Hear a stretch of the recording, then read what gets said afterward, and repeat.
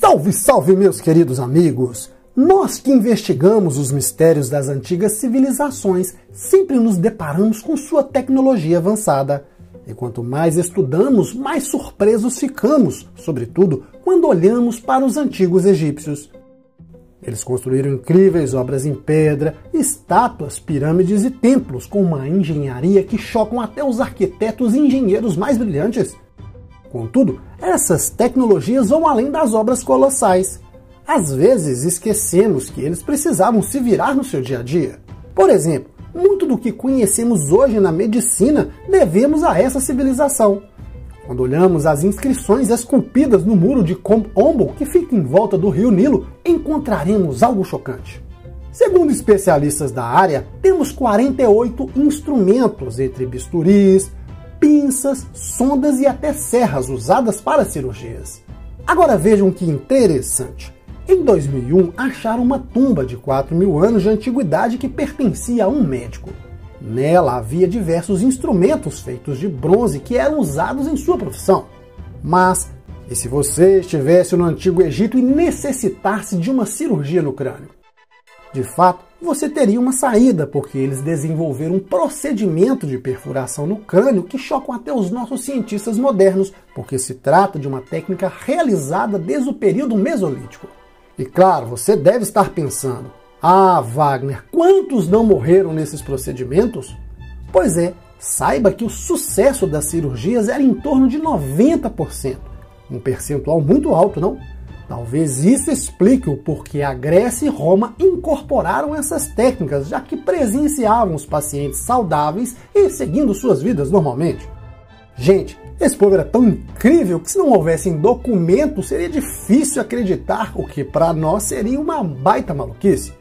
Contudo, existem diversos documentos mostrando como as cirurgias eram realizadas em várias partes do mundo.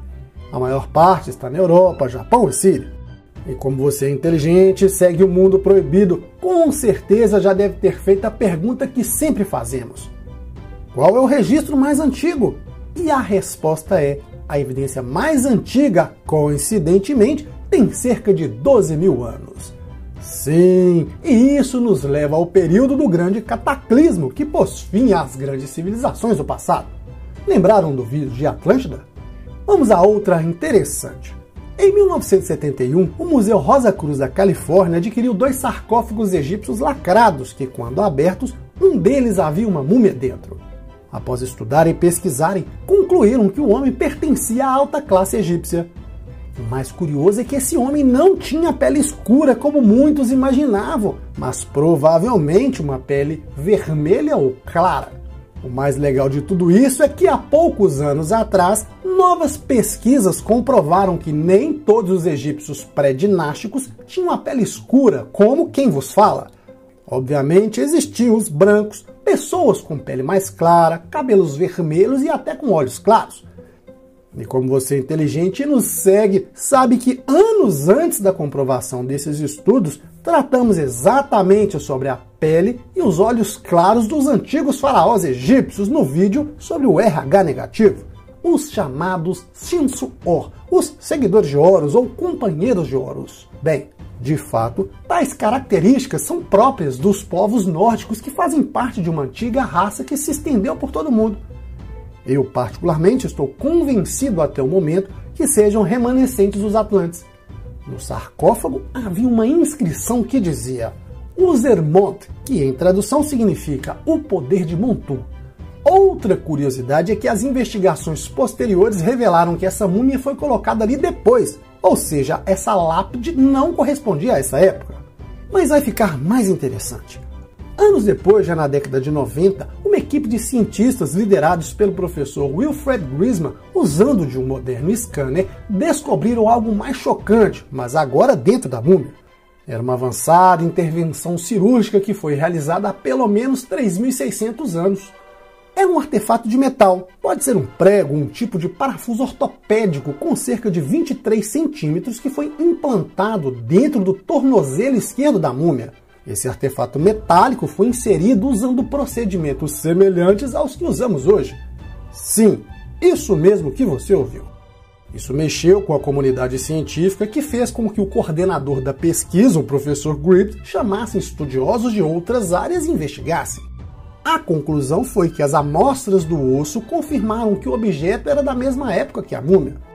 O mais bizarro é pensarmos que isso foi feito há milênios. O estudo mostrou que a barra era mais estreita e tinha espirais que rodavam na medida em que entrava no fêmur, algo parecido com os métodos biomecânicos de nosso mundo chamado de moderno e avançado. Na extremidade da barra existem três pestanas para que o centro dê estabilidade necessária, evitando a rotação da perna. O objeto de metal foi unido ao osso com uma resina orgânica, algo parecido com o cimento ósseo. Eu imagino algo semelhante a uma cirurgia de um jogador de futebol. Mas pense, definitivamente, se não tivessem documentos, era difícil acreditar que isso foi realizado há milênios. O Dr. Grease mostrou-se assombrado e disse: Estamos assombrados pela habilidade de criar implantes metálicos com os princípios biomecânicos que utilizamos hoje em dia, como, por exemplo, a fixação rígida do osso. Isso vai bem além do que qualquer coisa que podíamos esperar naquele tempo. O que fica claro é que estudar as antigas civilizações é apaixonante, porque podemos ver sua tecnologia estava empregada além das construções, mas em seu dia a dia. Como em qualquer sociedade, eles também lutavam contra as fraturas ósseas e se viravam como podiam. Por fim, a última curiosidade que é mais a nossa cara. O estudo revelou que esse parafuso só foi implantado depois que o cara morreu, mas antes do embalsamento. Mas por que colocar um implante para sustentar a perna e não simplesmente uni-las com vendas ou trapos? E se você me acompanha, é mais do que evidente que você já sabe o motivo. Porque era mais do que fundamental para o povo egípcio, já que era parte de suas crenças preparar o corpo uma vez que eles viajariam para o além-vida. Assim como muitos nos dias de hoje baseiam suas vidas nas suas crenças e religiões, não era diferente com os antigos egípcios. A diferença é que eles usavam a medicina para justificar suas crenças e não negar o que chamamos de ciência. Mas a pergunta que não quer calar: se você precisasse de passar por uma cirurgia dessas, toparia? Teria coragem? Me diga tudo o que você acha, porque essa eu faço questão de ler cada comentário. Espero que tenham gostado. Deixe seu like, compartilhe nos grupos com os amigos. E eu sou Wagner Souza. Um forte abraço e até mais.